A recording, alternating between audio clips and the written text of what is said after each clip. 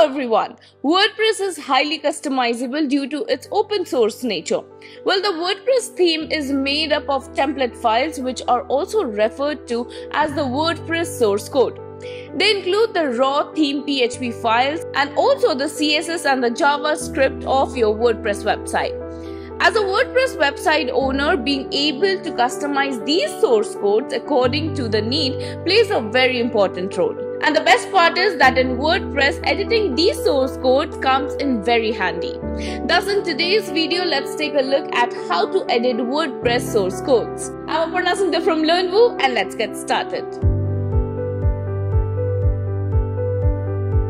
To edit the WordPress source codes, we will be using two different but easy ways. Number one is by using the WordPress theme editor.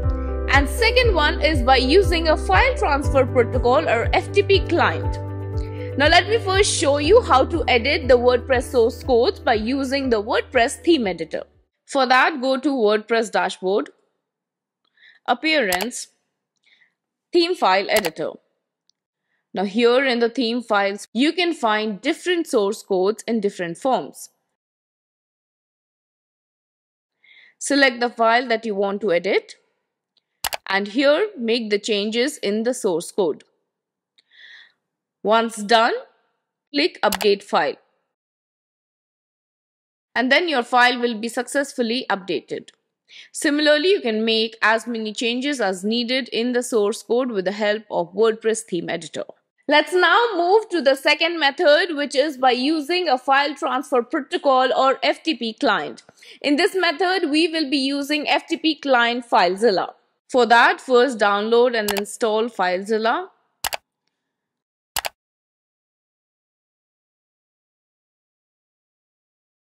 Once installed, go to FileZilla, enter the host address, username, password and port number. Now click on Quick Connect. In case you don't have FTP credentials to your site, you can contact your web hosting provider. Once connected, you will have access to all your files on the server. Now select the file that you want to edit. Now navigate to the directory and select the file whose source code you want to edit. Right click on it and select View or Edit. Now your file will be downloaded to the system and will be viewed on the notepad. Here you can edit the source codes.